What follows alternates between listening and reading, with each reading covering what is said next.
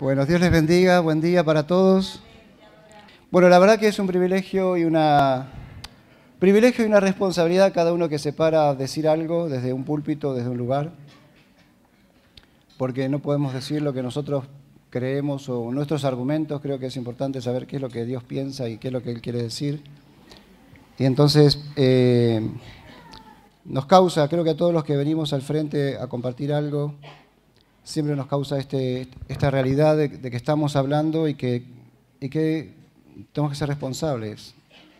Gracias por la oración de Romina y, gracias por, también por el amor de todos ustedes. La verdad que uno acá respira de la presencia de Jesús a través de las relaciones y aunque no podemos hablar con todos, pero siempre que te encontrás con alguien en el pasillo, algo te transmite, porque lo que te transmite es que tiene a Jesús en su corazón y suficiente, un abrazo, una mirada, una palabra. Creo que eso, y eso nos vamos llenando, vamos llenando nuestra vida de, de la vida de otros. Creo que cuando Jesús dijo que donde hay dos o tres reunidos, allí está Él, creo que lo que quería decir es que se potencia su presencia. Y si están dos o tres reunidos, allí está Él, me parece como que los, los que se adhieren a ese grupo van a percibir esa presencia de Dios porque es como que se potencia eh, la luz de Jesús en nosotros. Eh, yo quería comenzar, la verdad que eh, esta semana fueron muchas emociones, muchas cosas en mi vida, pero una de las cuestiones que Dios me despertó con un pasaje en Efesios capítulo 2, 12, Efesios 2, 12, dice, en esos tiempos ustedes vivían apartados de Cristo, pero eso no estaba quizás en el papelito al, principio. Eh, pero para que lo puedan buscar, es Efesios 2, 12 dice, en esos tiempos ustedes vivían apartados de Cristo. No se les permitía ser ciudadanos de Israel y no conocían las promesas del pacto que Dios había hecho con ellos. Ustedes vivían en este mundo sin Dios y sin esperanza. Y justamente creo que una de las cosas que Dios me está trayendo en este tiempo es a qué mundo nos estamos acercando, a qué mundo estamos yendo. Salimos de acá y en qué, con qué mundo nos encontramos. Y nos encontramos con un mundo sin Dios y sin esperanza. Un Dios que realmente si no tiene a Dios no tiene esperanza. Y creo que para mí era, era fuerte este tema de darnos cuenta que estamos en un mundo sin esperanza, sin Dios. Aunque aparentan ser otra cosa, aunque aparentan un montón de situaciones, si no tenés a Dios, no tenés esperanza. Y otra cosa que me venía, otro pasaje, es que eh, ese pasaje que quizás es muy conocido, que dice que las armas de nuestras milicias no son carnales, sino poderosas en Dios para la destrucción de fortalezas. No, no sé si lo pusieron, perdón. que estoy escribí algunas cosas, no, no hice nada ordenado, escribí todo lo que me venía y no tengo nada ordenado. O sea, si yo soy un despiole así, ahora con la computadora peor, porque estoy más, más perdido. Pero la cuestión es que este tema es, por un lado estamos enfrentados en un mundo, y, acá creo que Pablo está diciendo, acuérdense en dónde estaban ustedes. Acuérdense de dónde, qué es lo que ustedes habían vivido antes de conocer a Jesús. Estamos sin Dios y sin esperanza. Y ese es el mundo el cual nos enfrentamos. Creo que me da mucho ánimo saber que tengo algo que compartir porque la gente no tiene esperanza y no tiene a Dios. A veces vemos todo lo que, lo que el mundo nos representa, lo que el mundo quiere exponer, un montón de cosas. Y nos sentimos chiquititos frente a la situación del mundo. Pero desde la perspectiva de Dios, Dios ve a la gente sin esperanza, porque no lo tiene. Entonces no son una amenaza para nosotros, solamente algo que necesita nuestra compasión, nuestra misericordia. Porque pueden decir muchas cosas, pueden hablar muchas cosas, pueden tener muchísimos poderes que nosotros por ahí no, no tenemos, pero ellos no tienen esperanza, nosotros sí la tenemos. Y cuando nos encontramos con una persona, lo que uno tiene que ver, y yo les digo esto, que es, creo que siento en mi corazón que es como una nueva etapa que vamos a vivir como misión, en el sentido que se viene una avalancha de cosas. Una de las cosas es cómo nos encontramos con el mundo, cómo lo miramos, si lo miramos desde la perspectiva que ellos nos miran, si somos un espejo de cómo ellos nos miran, o somos una mirada de Dios sobre el mundo. Cuando ellos nos miran a nosotros, nos ven los antiderechos, nos ven un montón de cosas. Pero cuando nosotros los miramos, lo miramos desde sabiendo de dónde Dios nos sacó, de un mundo sin Dios y sin esperanza. Un mundo que no tiene identidad. Acá dice, ¿no? Un mundo que dice, ustedes no conocían los pactos de las promesas, no tenían identidad, no tenían nación. Y Dios nos ha dado identidad, nos ha dado ciudadanía. Desde esa plataforma es que nosotros podemos movernos en este mundo. Ahora, cuando Pablo dice en ese pasaje que las armas de nuestras milicias no son carnales, sino que son poderosas en Dios para la destrucción de fortalezas, derribando todo argumento que se levanta en contra del conocimiento de Dios y llevando cautivo todo pensamiento de la obediencia a Cristo. ¿Dónde se desarma, la guerra en este momento? ¿Dónde es la guerra que estamos enfrentando? No es una guerra como las cruzadas del año 1000, no es una guerra aún eh, eh, de grandes potencias, no, es una guerra en el pensamiento, es una guerra en los argumentos, es una guerra en los discursos, es una guerra eh, que es hablada. Y yo creo que, miren, para mí, sinceramente, hoy, esta semana leyendo y estudiando, orando, porque me despertaba con estas cosas, me tenía que despertar y empezar a escribir, porque después, si el Espíritu Santo se, parece que cuando se despierta, deja de escucharlo. Entonces me despertaba y empezaba a escribir porque me venían todas estas cosas. Los argumentos, o sea, primero quiero hablar dos partes. Por un lado, que nuestras armas no son carnales. Después vamos a volver a ese tema. No son carnales, no son como la gente del, mundo, son otras armas. Dice, pero nuestras armas contra qué luchan? Contra argumentos. No es una oposición de otra forma, es argumento lo que te dicen. Entonces Dios me llevó un poquito a Génesis. Génesis vemos que y me, resaltó esta parte ¿no? de Génesis. Eh, bueno, toda la gente usa argumentos. Alguien piensa, alguien dice, alguien argumenta para convencer a alguien. Eso es un argumento. Que te da fuentes, que te da bases, que te da cosas, que te da estadísticas. Y a veces cuando frente a los argumentos, a veces nosotros no sabemos qué decir. ¿No te pasó? Sí, justamente. Ahora, por ese tema, yo quiero hablarles que la guerra espiritual que estamos enfrentando es una guerra espiritual que va en los argumentos, que se mueve en los discursos, porque eso es un área espiritual. Ahora, ¿cuál es el arma que Satanás utilizó desde el principio? Fue justamente la argumentación. La serpiente argumenta con la mujer en el, huerto de Edén. Ahora, a mí me llamó la atención que justamente lo que Dios me trajo así es que qué tremendo que justamente el, animal que Dios usa para, para atacar a Eva fue una serpiente. Si de acuerdo a las serpientes de ahora, no tenían brazos, o sea, no tenían garras, no tenían patas, no tenían nada, no tenían grandes colmillos, no eran el tigre diente de sable, no, era una serpiente y lo único que tenía para atacar al hombre era la lengua. Imagínate. Y fíjense que cuando Dios, la segunda pregunta que Dios le hace al hombre después de la caída, le dice a Adán, ¿quién te dijo? ¿Quién te dijo que estabas desnudo? Yo por eso, para mí, es un área de guerra espiritual, más que, más que guerrear orando fuerte. Yo creo que sí, gracias a Dios que hay gente que tiene una voz fuerte para orar y que se levanta y hay que hacerlo. Y cuando el Espíritu Santo te toma lo vas a hacer seguro porque no te queda otra. Pero el tema es que saber este tema, cómo Satanás atacó a Adán y Eva, fue a través de lo que le comenzó a decir y a desdecir lo que Dios había dicho. Fue una cuestión de argumentos. No se presentó como el diablo con, el tridente y la cola y los cuernos y lo No, solamente utilizó una solita órgano de su cuerpo, la lengua. Comenzó a lanzar el veneno para que, para que Adán pudiera desconfiar de Dios, para que Adán comenzara a ver distorsionado el carácter de Dios. Hay una frase que dice que si yo puedo obedecer sin confiar, yo puedo obedecer a mi jefe, a mi maestro, a mi patrón, pero no puedo desobedecer cuando confío. Yo puedo obedecer sin confiar.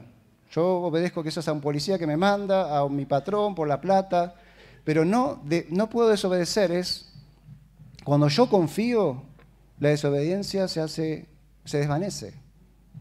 ¿Cuántos de ustedes pueden levantar la mano derecha? A ver. Esta es la derecha, ¿no? Sí. Ahora, ¿vieron qué fácil que es obedecer? ¿Por qué? Porque uno confía. Y lo que comenzó Satanás a hacer fue que a través de sus argumentos comenzó a traer desconfianza sobre el carácter de Dios. Y solamente utilizando el tema de eh, hablar, el tema de argumentar, el tema de decir, sacar una palabra de lo que Dios había dicho y de esa forma, porque Satanás cambió una sola palabra de lo que Dios le había dicho. Dios le había dicho al hombre, podés comer de todos los árboles del huerto, excepto del árbol que está en el centro del huerto. Y la, serpiente le dijo al, revés, ¿así que no podés comer de ningún árbol del huerto? O sea, solamente cambió la palabra ningún por todo. Y de esa forma comenzó a argumentar y comenzó a construir en el pensamiento eh, la distorsión del carácter de Dios. Nosotros, yo pasé toda mi vida dentro de la iglesia evangélica y viví muchas etapas de la iglesia y la verdad que siempre, eh, como que la iglesia o como que el mensaje siempre fue más que nada como alimentar nuestra alma, nuestra seguridad de irme al cielo, nuestra seguridad de estar un lugar en el cielo. Pero creo que no hemos cristianizado la mente, no hemos cristianizado el pensamiento. No tenemos a veces los argumentos suficientes y Satanás sabe de eso y de eso se puede agarrar mucho.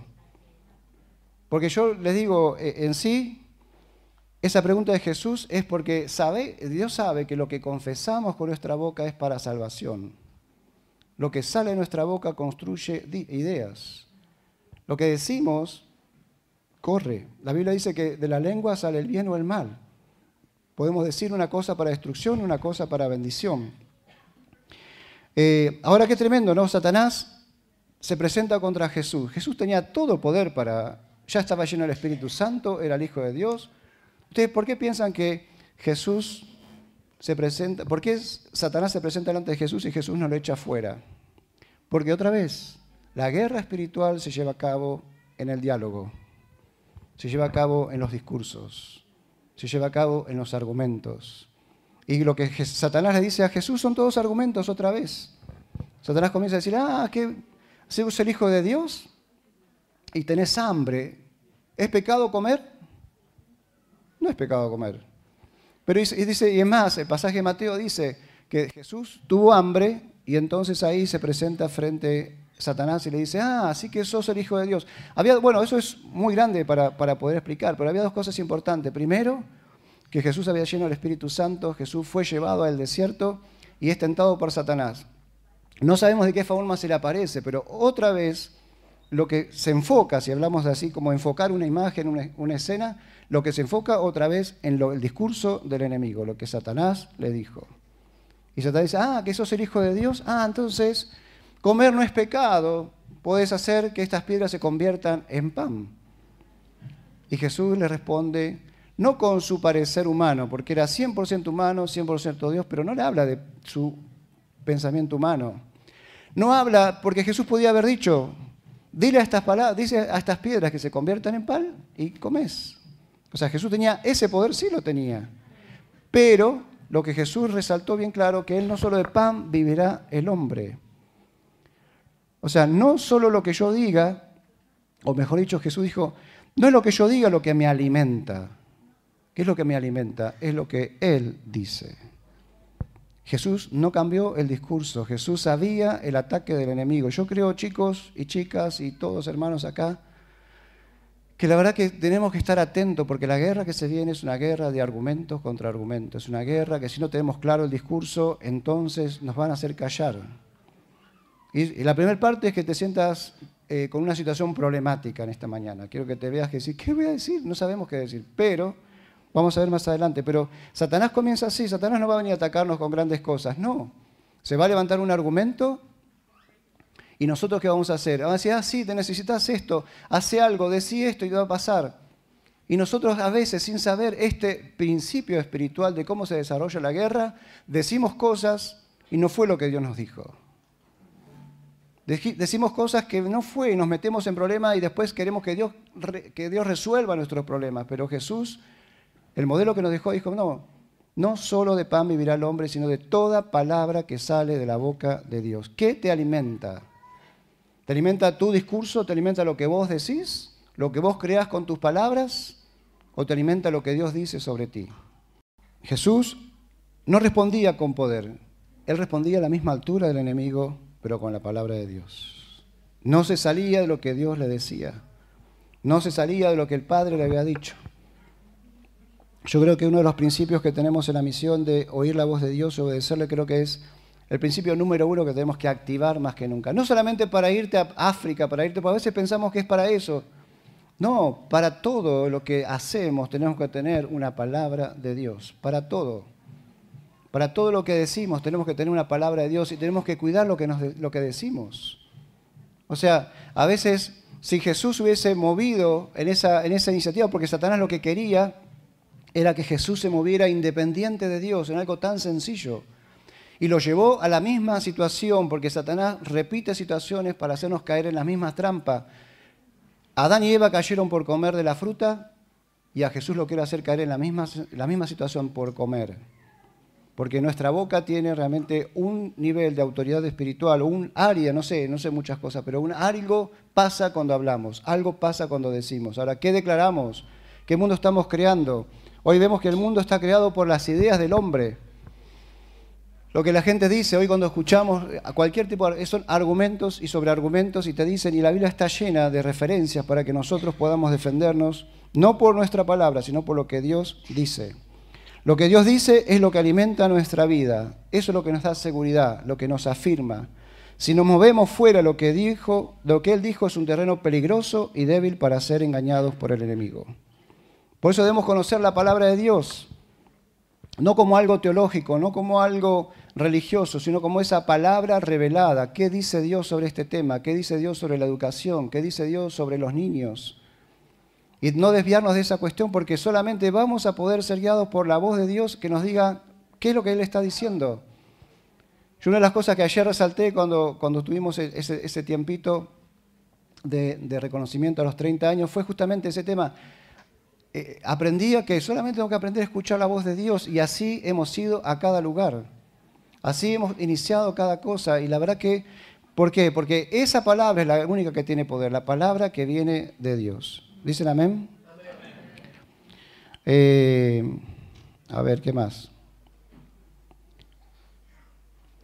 Bien, tenemos que prepararnos para la oportunidad de hablar, pero ¿qué diremos? ¿Qué diremos? No podemos mandar a nuestros líderes a decir todas las cosas. ¿Qué, diremos?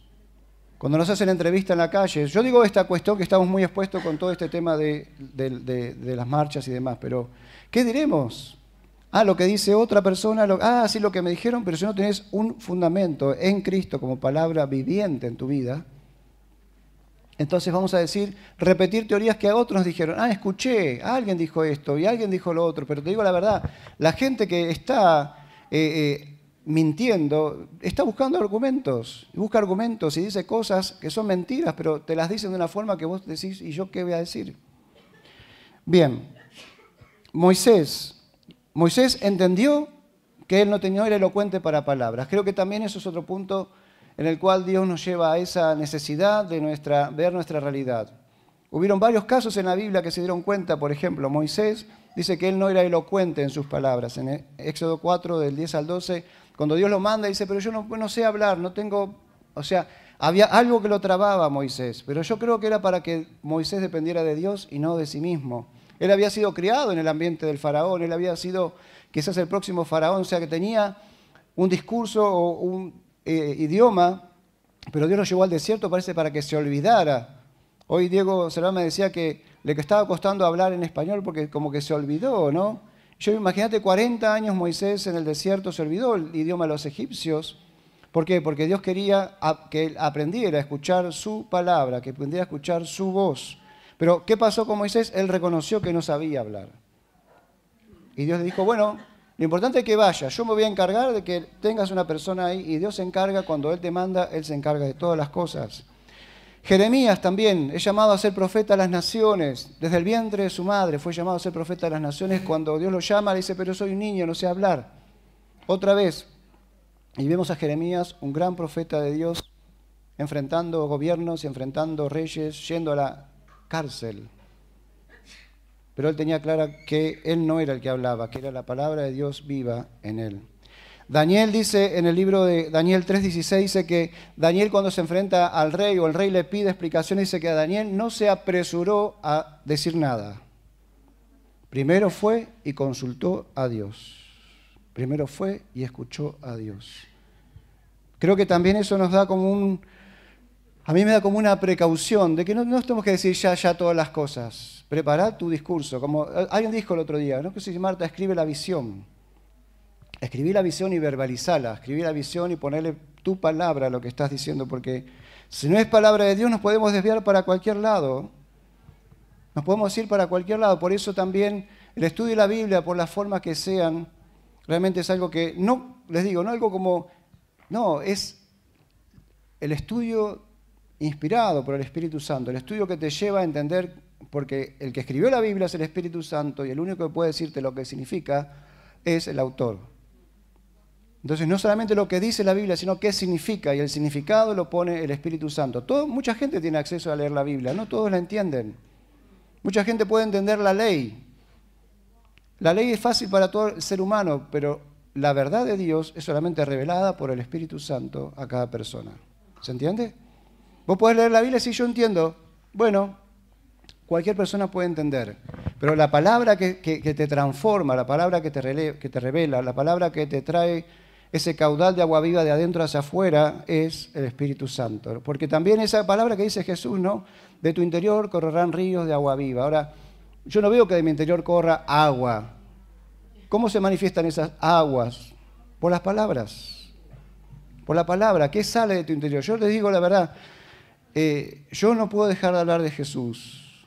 No puedo dejar de hablar, sinceramente. Y estoy aprendiendo cada vez más en, este, en esta cuestión que cuando su río fluye en nosotros, el único tema que es es hablar de Jesús, hablar de Jesús. Y no soy tan evangelista, ¿eh? no soy tan extrovertido eh, como para decir, no, predico a toda la gente, no, pero la verdad es que sí, me siento que cada vez que empiezo a hablar las palabras me brotan y me brotan y me brotan porque creo lo que estoy predicando, creo que Jesús vive en nosotros y que eso es lo que necesitamos. Ahora, yo creo que necesitamos eh, eh, esta cuestión de darle palabras al Espíritu Santo. O sea, retener palabras, estudiar o tener palabras en la mente, yo lo hago, yo, yo estudio, leo mucho, pero no solamente lo hago para un interés personal, yo lo digo porque yo creo que el Espíritu Santo necesita herramientas, porque cuando llega el momento dice que nos va a hacer recordar todas las cosas, pero si yo no estudio, no sé nada, ¿qué me va a hacer recordar? Entonces, si yo lleno mi mente, mire, yo les digo la verdad, ponete a estudiar la Biblia, ponete con el Espíritu Santo a solas. Si puedes hacer la escuela bíblica, bien. Si puedes hacer, hacelo. Pero la palabra, te digo la verdad, yo les, les comento, algo. En Mar del Plata, para que sepan algo personal, bueno, soy abuelo hace una semana más o menos.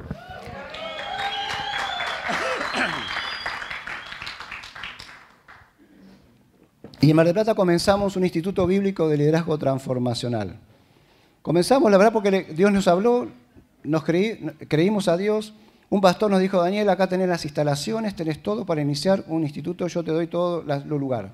No tengo que pagar internet, luz, nada. Tengo todo. Y encima me manda la gente.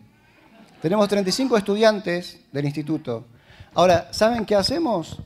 Leemos la Biblia versículo por versículo. Ya Romanos, Efesios, Colosenses. ¿Saben lo que está pasando? No puedes dormir. La gente no puede dormir porque el Espíritu Santo los despierta y les comienza a revelar la palabra, la palabra. Te digo, hicimos un campamento de jóvenes el año pasado con esta cuestión de creerle que Jesús vive en nosotros y que su palabra... Eh, y sabes que pasaron 30 chicos, recibieron el Espíritu Santo de verdad, les digo. La primera vez que hacemos un campamento con ellos y están encendidos por el Espíritu Santo. Encendidos. Gente, hablamos de las esferas de la sociedad. Yo veo que en el instituto está afectando una mamá con cuatro hijas que está separada, una estudiante de medicina, un doctor, un mecánico, todos encendidos con el Espíritu Santo. Pero no lo estoy haciendo yo. Cuando vos comenzás a ver lo que Dios dice, lo que su palabra dice, lo que su verdad dice, eso te revela, se te revela en tu corazón. Ponete a leer, te digo la verdad, haz un ejercicio. Ponete a leer libro de la Biblia, Efesios, Romanos, ponete a leer, versículo por versículo y sentate con el Espíritu Santo.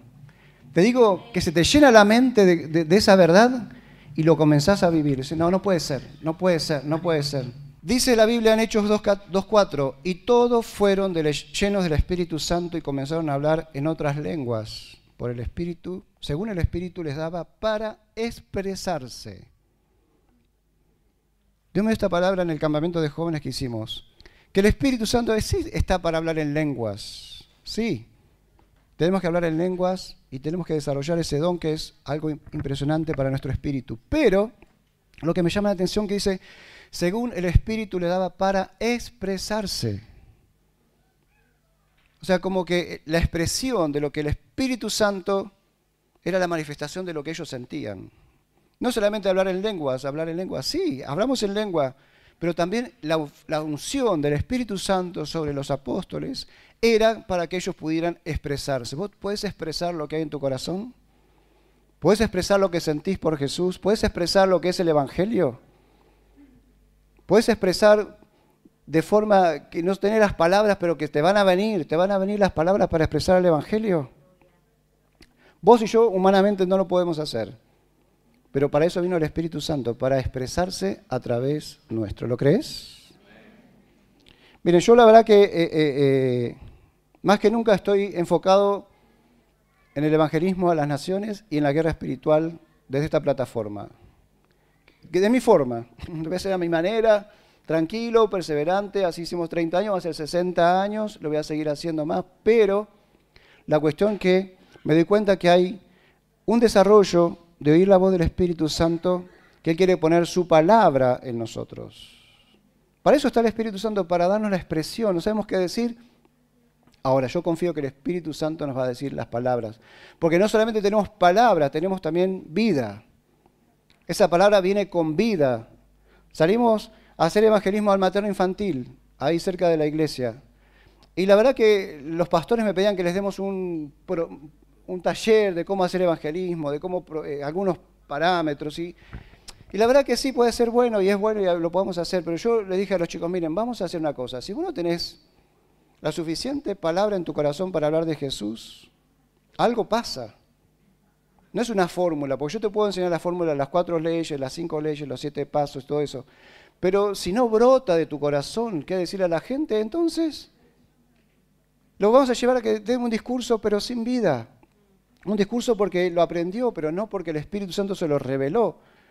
Y les digo, estamos yendo ahí ya como tres familias de Mar del Plata que son del materno infantil está viniendo a la iglesia. Y está haciendo una revolución para los chicos. Es más, generalmente en Mar del Plata, enero y febrero las iglesias no hacen nada por la temporada. Ahora ustedes saben que los sábados, todos los sábados los jóvenes se unificaban para ir a hacer evangelismo al materno infantil solamente. Ahora, ¿quién lo produce a eso? El Espíritu Santo y el fuego del Espíritu que te lo, que te deja acá. Y eso es y la palabra, hermanos queridos, la palabra, ¿de qué hablamos todo el día? ¿Qué decimos? La verdad que espero que Dios te esté hablando en esta mañana. Eh, dice Corintios, 1 Corintios 2, estoy usando la NTV para algunos que por ahí están tomando nota. Dice, amados hermanos, la primera vez que los visité, no me valí de palabras elevadas ni de una sabiduría impresionante para contarles acerca del plan secreto de Dios. Pues decidí que mientras estuviera con ustedes olvidaría todas, todo excepto a Jesucristo, el que fue crucificado. O sea, podemos decir muchísimas lindas palabras elocuentes, una oratoria tremenda, pero si dejamos a Jesús al lado, no va a engendrar vida en nadie. Yo les decía esto del evangelismo en el materno y todo eso. Muchos lo están haciendo. Yo no es que lo hago como que soy guau, lo estoy haciendo, todos lo están haciendo. Pero lo que me, llama la atención que cuando yo no soy tan evangelista, les decía, no me, cuesta, yo miro a la gente, miro su problema, me deprimo junto con ellos, digo, pobrecito, este, porque se están acercando a la gente de la calle también, como en Capital. Ahora, ¿saben qué pasa? Cuando yo me acerco a la gente, yo los miro y sé que Jesús está en mí y los mira a través mío. Yo digo, Jesús, bueno, ¿cómo los miras vos? ¿Qué le va a decir Jesús a través mío? Estamos viendo tremendos alcances. la gente de la calle nos dice, los extrañamos, dice, porque nadie se acerca a nosotros a, charlar 15 minutos por, por semana. Ahora, acá Pablo dice, no es con impresionantes sabiduría, pero él tenía que contarles. Había algo que contarles, sí, había un secreto. Dice, el secreto es el plan secreto de Dios. Dios tiene secretos que no se los revela a alguien que no está interesado. No sé si alguien te dijo, bueno, esto es un secreto. Bueno, Dios tiene secretos y los revela a los íntimos, los revela a aquellos que dicen, bueno, me contaste un secreto, voy a hacer confianza, voy a tener confianza. Muchas veces contamos un secreto a alguien. ¿Por qué? Porque encontrás confianza, porque encontrás que es una persona que te va a guardar, una persona que te va a hacer caso, una persona que, puedes confiar. Dice que hay un plan secreto que él no usaba sus palabras. Dice, y no, olvida, no se, olvidaba de todo lo demás, pero excepto a Cristo que está crucificado. Dice, verso 4, dice, y mi mensaje y mi predicación fueron muy sencillos. En lugar de, usar discursos ingeniosos y persuasivos, confié solamente en el poder del Espíritu Santo. Está en la Biblia, hermanos. Está en la Biblia. Lo hice así para que ustedes no confiaran en la sabiduría humana, sino en el poder de Dios. ¿Y dónde, estaba el poder de Dios? En el discurso, en lo que hablaba, en lo que decía. Por eso esto no lo hablo de sabiduría humana, esto lo hablo. Y hablamos del poder del Espíritu Santo, pero a veces queda acotado, queda como que el Espíritu Santo es para momentos de reunión, campamentos, retiros o conferencias. No, el poder del Espíritu Santo es para que puedas hablar, para que puedas decir, para que puedas dar tu discurso. Yo les digo, yo estoy encendido y yo voy a ir a todos los lugares que Dios me mande hasta que me muera. No bajé los brazos. a veces me han preguntado, algunas veces quiero aclarar, mi corazón está en el reino de Dios y mi servicio lo hago a través de Jucum. Amén. Y eso es mi lugar de trabajo y lo estoy haciendo con Norma, con mi familia, con mi nieto, con mis hijos, todos metidos a servir a Dios. Pero les quiero aclarar este tema. Entonces, el poder del Espíritu Santo es para que puedas verbalizar lo que pasa en tu interior con Dios. Verbalizar lo que Dios quiere que digamos en este mundo. Dios nos dio, la única herramienta es la predicación. Pablo decía, pero esto es la locura de la predicación. Los griegos piden señales, los, perdón, los judíos piden señales y los griegos piden sabiduría. Pero nuestra locura es la predicación, es decir, proclamar, es hablar solamente. Y transformaron todo un imperio por lo que decían. Eran perseguidos por lo que decían. Decían, le dicen a los, a los, cristianos de la iglesia primitiva, pueden enseñar y decir cualquier cosa, pero no pueden nombrar a Jesús con la boca. No pueden dar el discurso de Jesús y esa es persecución. Y eso era lo que vamos a enfrentar. Cuando Jesús dice que, miren qué poder que había en la boca y en Jesús, o en la boca de Jesús y en Jesús, pero que cuando Él llama a, resucitar a Lázaro, Él tuvo que decir particularmente, Lázaro, sal fuera, porque si Él decía, sal fuera, todos los muertos que estaban ahí iban a salir fuera, porque Él tenía, por eso dijo, Lázaro, sal fuera, solo Lázaro, el resto se queda. Imagínate el poder que tiene Jesús. ¿Se entiende? El poder que tiene Jesús, que una palabra de su boca transforma una vida, una palabra. Pedro le dijo, Señor, ¿a dónde iremos si solamente tú tienes palabra de vida? ¿Qué te alimenta? ¿Lo que te dice el mundo? ¿Lo que te dice el enemigo? ¿Lo que te dice una persona o lo que te dice el Espíritu Santo? Lo que te dice Dios. ¿Qué alimenta nuestra vida? Jesús fue alimentado cuando él dijo, de toda palabra que sale de la boca de Dios, la última palabra, el pancito fresco que salió de la boca de Dios para Jesús fue, tú eres mi hijo amado en el cual tengo complacencia. Entonces Jesús, todo el ministerio estuvo refrescándose en ese tema. Yo soy el hijo amado en el cual tengo complacencia. No es que no es por lo que hacía Jesús. Dios no le dice, "Este es mi siervo que echa fuera demonios y que trae liberación y que trae sanidad." No, Jesús resaltó su identidad y Jesús se paró en esa identidad y todo el ministerio fue desarrollado desde esa identidad. Soy su hijo amado en el cual tengo complacencia. Eso que Jesús ganó o eso que Jesús hizo, nos dio a cada uno de nosotros. ¿Saben quiénes somos vos y yo? Somos hijos amados en el cual Dios tiene complacencia. ¿Lo recibís? ¿Lo escuchaste? Somos hijos amados en el cual Dios, hay versiones de la Biblia impresionantes, hay versiones de que somos sus hijos amados en el cual Dios está completamente alegres con nosotros. ¿No es tremendo? Y desde esa plataforma estamos en el mundo. O sea, yo estoy por el mundo y soy su hijo amado. Si la gente lo ve o no lo ve, problema. Pero yo soy su hijo amado, pero lo va a ver si yo comienzo a entender esta identidad y lo que hablo. Yo creo que tenemos que tener un protocolo en nuestra vida. ¿Somos embajadores del reino de Dios o no? Los embajadores tienen un protocolo en todas las cosas. En su presentación, en su discurso, en los temas que tocan. Y nosotros no podemos andar por la vida así como cualquier cosa. No, somos embajadores, no podemos hablar cualquier cosa. Otra gente puede hablar cualquier cosa. Vos y yo, si sos embajador del reino de Dios, no. ¿Lo creen o no? Porque cantamos muchas canciones, decimos muchos pasajes, pero a veces no, no damos cuenta de lo que estamos diciendo. Cuando dice la Biblia que somos nación santa, linaje escogido por Dios, ¿no? no sé cuántas cosas reflejan nuestra identidad en ese punto. Si somos una nación santa, somos una nación separada, si somos un linaje escogido, como fue Aarón. ¿Saben lo que le pasó a Aarón? Sus hijos hicieron algo que no, Dios no les mandó. Hicieron un fuego extraño frente al, altar de, Jehová. ¿Y saben qué pasó? Salió fuego al altar y los mató. Y cualquier persona del pueblo podía hacer algo, podía hacer siete días de duelo, raparse la cabeza, tirarse ceniza, un montón de cosas. ¿Sabe lo que le dijo Moisés a Aarón? Vos no podés hacer eso. Porque tu linaje fue creado para otra cosa y no podés vivir ese duelo como toda la gente.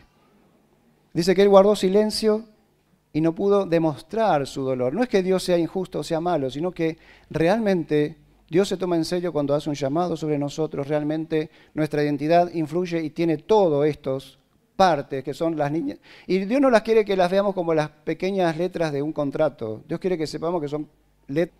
Es parte de nuestro compromiso, es parte de, de la vida que Cristo nos ha dado. ¿Para qué Dios nos dio vida? La Biblia dice para que nosotros presentemos nuestro cuerpo en sacrificio vivo. Para que Dios redime nuestros, nuestros miembros, nuestro cuerpo, para que sean presentados como una adoración a Dios. No es nuestro cuerpo, nuestro cuerpo no pertenece más a nosotros, pertenece a la justicia. Antes pertenecía al pecado, ya no en Cristo. Antes eras esclavos del pecado, pero cambiaste de amo. Ahora sos esclavo de Jesús y nuestro cuerpo es miembro, es, sí, es miembro de la justicia de Dios. Pablo sigue diciendo, sin embargo, miren, cuando, cuando el Espíritu Santo te enciende, vas a entender la Biblia, te digo. Vas a entender la Biblia, porque algo te pasa acá en la mente que se te abre y el espíritu se te abre. Porque miren que dice Pablo en versículo 6 de ese mismo capítulo. Sin embargo, cuando estoy con creyentes maduros, sí hablo con palabras de sí hablo con palabras de sabiduría, pero no la clase de sabiduría que pertenece a este mundo o a los gobernantes de este mundo, quienes pronto son olvidados. No, la sabiduría de la que hablamos es el misterio de Dios. Su plan antes de que su plan que antes estaba escondido aunque Él lo hizo para nuestra gloria final aún antes de comenzar el mundo, pero los gobernantes de este mundo no lo entendieron. O sea, la sabiduría que hablaba Pablo es esta sabiduría que viene de Dios a nuestra vida. Si vos sos hijo de Dios, dice la Biblia que tenés la mente de quién? De Cristo. Dice, toda esta realidad que estamos viviendo es una realidad espiritual, es una realidad de principios espirituales. O sea, cambiaste de reino. ¿Cuántos cambiaron de reino acá? Si cambiaste de reino, cambiaste de naturaleza. Porque no, o sea, no, no, no, hay, no hay como, Dios no da, eh, ¿cómo se diría? No da ciudadanías a alguien que no murió a su vieja ciudadanía. Es muy, es muy restricto el reino de Dios. Vos no puedes entrar al reino de Dios con tu vieja identidad. La única forma de entrar al reino de Dios es con tu, y si entras al reino de Dios es porque entras con una nueva identidad y ya lo anterior no te pertenece. Nada de lo que era de Adán nos pertenece, nos pertenece todo lo que es de Cristo, nos pertenece toda la riqueza que hay en Cristo, ¿de quiénes son? ¿De quiénes son? De Cristo. ¿Y dónde está Cristo? Nuestro corazón. Por lo tanto, somos hijos con la naturaleza de Cristo en nuestro corazón. Si no lo creemos, el enemigo ahí nos miente. El enemigo impide para que la gente no se convierta. Y cuando la gente se convierte, lo que trata de impedir es que la gente no entienda estas verdades, no entienda su identidad, porque sabe el enemigo que si yo sé cuál es mi identidad, entonces voy a ponerle frenos a él, voy a ponerle límites a él, voy a ponerle mucha claridad a él. Y voy a saber cómo comportarme. Hay una frase que dice, si vos sabés quién sos, vas a saber cómo comportarte. El tema a veces no sabemos quiénes somos porque, claro, miren, necesitamos darnos cuenta que Cristo ha hecho todo para cambiarnos de identidad. O sea, yo entendí hace poco por qué la Virgen María concibió del Espíritu Santo. Porque lo que ahí Dios trae a la humanidad es la divinidad de Dios. Si, si Jesús nacía de una relación sexual entre, entre José y María, iba a ser la misma naturaleza de Adán. Pero la intervención de Dios es que Él trae una nueva naturaleza y eso es lo que nos dio. Tuvo que morir, su espíritu ser derramado para qué? Para que nosotros pudiéramos recibir esa vida. Pero la naturaleza cambió. Si vos naciste de nuevo, sos una criatura, una creación que nunca antes existió. ¿Se entiende? Y eso, y en esa, desde esta plataforma es que tenemos que hablar lo que somos y de quiénes somos. Amén. Eh, ahora, ¿cómo vienen estas cosas? Dice Pablo, pero fue a nosotros quien Dios nos reveló esas cosas por medio del Espíritu Santo. Verso 10, pues su Espíritu investiga todo a fondo y, y muestra, y nos muestra los secretos profundos de Dios. ¿Quién investiga todo? El Espíritu. ¿Y quién nos revela todo? El Espíritu. Imagínate, te digo, nosotros tenemos poca capacidad emocional, poca capacidad intelectual, pero tenemos una ilimitada capacidad espiritual. Imagínense, ¿qué dijo David? David le dice a Dios, Dios, ¿quién te va a construir un templo con lo inmenso que vos sos? Eso era como la, realidad de David, no, no, encajaba, ni aunque construyeran un templo gigante, Dios podía entrar. Y vemos una realidad espiritual diferente en el Nuevo, Testamento, diciendo que ustedes olvidaron lo más importante, que son templo del Espíritu Santo y el Espíritu Santo habita en ustedes. Imagínate si no, hay capacidad espiritual en nosotros. Yo digo, eh, Dios, el Espíritu Santo te puede hablar durante la noche. Es más, creo que te, que te prepares para que Él te hable durante las noches. Porque a veces cuando estamos dormidos, estamos medio dormidos, ahí Él tiene más facilidad de poder transmitir sus verdades o decirnos algo sin que tengamos tantos criterios y tantas cosas en nuestra mente. Necesitamos esta verdad de darnos cuenta de estas realidades espirituales y que tenemos que tener estos argumentos que vienen del Espíritu Santo. Es el único el único que nos va a dar argumentos para el tiempo que se viene. La Biblia dice, Jesús le dijo a los discípulos, miren que van a ser llevados presos, van a ser llevados a las cárceles, van a ser llevados a lugares, pero no se preocupen de que van a decir. Miren, siempre que alguien fue lleno del Espíritu Santo, ¿y cuántos quieren ser llenos o son llenos del Espíritu Santo? Tiene un riesgo, a ustedes no levantan la mano, son vivos. Tiene un riesgo, porque ¿dónde vas a terminar? Vas a terminar en los lugares de influencia Pablo terminó en Roma. Todos los discípulos terminaron frente a las autoridades. ¿Y qué, les dijo Dios? Miren, prepárense porque van a hacer llegar a esos lugares presos, encarcelados, pero dice, no se preocupen lo que van a decir. No es que se preocupen lo que van a comer, lo que van a hacer, el proyecto. No se preocupen lo que van a decir porque el Espíritu Santo les va a decir qué decir. Y queridos hermanos, yo tengo muchas cosas, como las palabras tienen mucho poder y las palabras crean ideas, las palabras crean conceptos. Yo quiero con todo mi amor, ustedes saben que los amo con todo mi corazón, quiero decir algunas cosas que mm, los quiero exhortar a cada uno con amor. ¿Lo pueden recibir? No saben lo que voy a decir, así que después no me digan nada. No, por ejemplo, Jesús en la cruz nos da su nuevo ADN.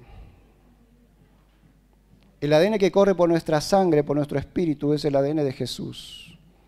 Y yo quiero decirles que el único ADN que va a funcionar en el resto de los años que vienen por delante es el ADN de Jesús en nosotros.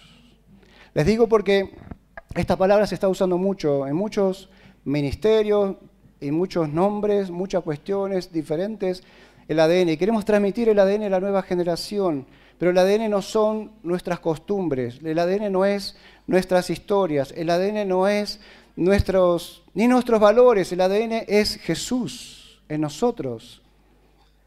Si vos vivís a Jesús, vas a vivir no solamente los 18 valores de, de, Jucum, vas a vivir todos los valores del reino de Dios en tu corazón. El peligro que tenemos, para mí, es que queramos transmitir los valores nuestros, pero la gente en el mundo se está muriendo y necesita los valores de Jesús, no necesita el ADN nuestro, necesita el ADN de Jesús. Es más, yo creo que se viene una explosión del Espíritu Santo que dice que en los postreros tiempos derramaré mi Espíritu sobre toda carne. Si no ensanchamos nuestras tiendas, Mucha gente no va a poder entrar a Jucún porque Dios va a empezar a levantar, yo lo estoy viendo. Chicos que, tienen 30 años de convertido, Dios se les reveló en su casa. Un chico estaba en un lugar boliche bailable y se le aparece Jesús y le comienza a hablar y el chico se reconvirtió. Ahora, si nosotros no nos preparamos a que Jesús es nuestro ADN, vamos a quedar como, ah, qué lindo nosotros con nuestro ADN. Yo estoy de acuerdo con transmitir el ADN de Jucún como identidad. Pero el ADN que te da vida es la vida de Jesús en nosotros. Otra cosa que escuché, y no es en contra de nadie, pero otra cosa que escuché en diferentes lugares, perdón con esto, ¿no? Y que lo pueden borrar. Bueno, Jukun me cambió la vida, la EDE me cambió la vida, Jukun me cambió mi ministerio, Jukun cambió mi, matrimonio. Lo escuché y yo dije, wow. ¿Jukun o Jesús? Por eso digo que las palabras, y yo me juego con lo que estoy diciendo, porque yo digo que las palabras crean una realidad en las personas y en mi vida. Entonces, no podemos decir Jesús, Jukun me cambió la vida. No, Jesús te cambió la vida. Si vos solamente te, concentrás que un programa puede... Sí, te va a cambiar de hábito, vas a cambiar de hábito, vas a dejar de decir malas palabras, vas a dejar de drogarte, vas a dejar de decir muchas cosas, pero no va a transformar tu vida. Lo que transforma tu vida es el ADN de Jesús fluyendo en tu corazón. ¿Lo crees? ¿Dicen amén a esta...? O sea, hablamos de que Jesús vive en nosotros. Amén. Pero es la vida que yo creo que tenemos que transmitir. Porque muchos movimientos, los moravos fueron un movimiento misionero grande, pero se quedaron en la historia. Y influenciaron el tiempo que debían influenciar. Ahora, lo que ellos dejaron de Jesús, en mucha gente se influenció. Y yo creo que nosotros estamos en estos periodos en los cuales, ¿qué, vamos a levantar? ¿Qué vamos a hacer famoso? ¿Qué vamos a hablar? Y la gente que está en el mundo nos está esperando a nosotros. La gente que está en el mundo está muerto en sus delitos y pecados. Y nosotros no, no eh, eh, necesitan que nosotros les llevamos la vida de Jesús a ellos. ¿Se entiende? Y hablando un poquito de, para, este tiempo que ya, ya se termina, pero hablando un poquito del trono de Dios. Hay algunos versículos que quiero pasar sobre el trono de Dios para terminar, porque me encantó este, este lema de que el trono de Dios, en el sentido que el trono de Dios no está vacío. Vamos a ver algunos, algunos pasajes ahí, podemos ponerlos, los pasajes del, del trono. El primero, porque estamos hablando del trono de Dios y en Apocalipsis 2 dice 4.2, dice al instante vino sobre mí el Espíritu y vi un trono en el cielo y a alguien sentado en el trono. Por encima de esa bóveda, Ezequiel 1, 1 26. Por encima de esa bóveda había algo semejante a un trono de zafiro y sobre lo que parecía un trono había una figura de aspecto humano. O sea, el trono, acá lo vemos como vacío, acá como que no hay nadie, pero en el trono donde Dios nos está invitando a venir, no está vacío. Hay alguien sentado en el trono. Amén. O sea que el trono no está vacío, no es que vamos a un trono imaginario, no, vamos a un trono donde está alguien sentado. Otro pasaje, Apocalipsis 5, 6. Entonces vi en medio de las cuatro seres vivientes y del trono los ancianos, y los ancianos a un cordero que estaba de pie y parecía haber sido sacrificado. Si vamos a, ¿qué vamos a buscar en el trono de Dios? Esta humildad del cordero que es Cristo por nosotros. ¿Qué es lo que el mundo, cómo es el mundo, cómo el mundo se mueve con soberbia, con orgullo? ¿Cómo nosotros, una de las armas que Dios nos quiere dar es la humildad de Jesús, la humildad que le dio también a, Moisés. De la forma que ellos se puedan presentar a todo lo que hicieron fue porque había manso y humilde de corazón. Son características de cuando uno viene del trono de Dios, que vienen del trono de Dios. Luz. Ezequiel 1.22 dice, había una especie de bóveda muy hermosa y reluciente como cristal. Apocalipsis 4.6, había algo que parecido a un vidrio, a un mar de vidrio y como de cristal transparente. En el centro alrededor había cuatro seres vivientes cubiertos de ojos por delante y por detrás. Apocalipsis 22.1. Luego el ángel me mostró un río de agua viva, de agua de vida, claro como el cristal que salía del trono de Dios y del Cordero. O sea, del trono de Dios viene frescura, viene limpieza. viene pureza. Si decimos que estamos frente al trono es porque vamos a recibir estas cosas, vamos a recibir humildad. Otro pasaje, energía, Apocalipsis 4, 5. Y, y, del trono salían relámpagos, estruendo y truenos. No es un lugar de debilidad, es un lugar de fortaleza, es un lugar donde nos llenamos. Otro pasaje de fuego, dice eh, Apocalipsis 4.5, dice, delante del trono ardían siete antorchas de fuego, que son los siete espíritus de Dios. Apocalipsis 19.12, sus ojos resplandecen como llamas de fuego y muchas diademas ciñen su cabeza. Victoria. Uno de los ancianos me dijo, deja de llorar, que ya el león de la tribu de Judá, la raíz de David, ha vencido. O sea, ¿qué venimos a buscar en el trono de Dios? ¿Qué es lo que necesitas en esta mañana recibir en el trono de Dios? Porque si nos vamos a, preparar para el tiempo que se viene, necesitamos decir, Señor, yo necesito esta humildad que viene de tu trono, yo necesito esta, este fuego de tu Espíritu Santo que viene de tu trono, yo necesito esta fuente de agua viva que viene de tu trono. Yo en esta mañana quiero invitarte a qué es lo que Dios quiere darte en relación a esta, esta cuestión. ¿no?